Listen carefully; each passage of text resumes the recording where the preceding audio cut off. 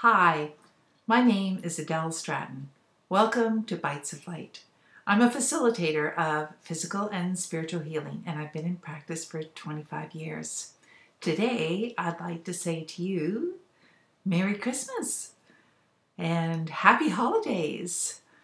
And I would like to talk to you today about how I feel about holidays like this that there's so much emphasis on the family and we do put a lot of effort into making these occasions very, very special.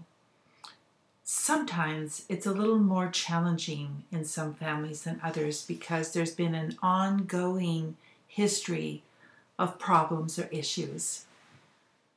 So I would like to offer just this little tidbit of advice, which would be that before the holidays start, before the big dinner, before the big day, a lot of us have a tendency to think about previous years and about what went wrong.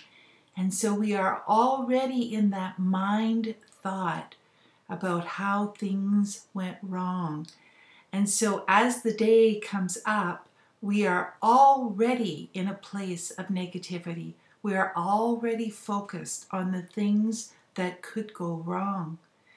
So I was wondering if maybe we could change that a little bit and think about how we could make the day go right and not even bring back the old history.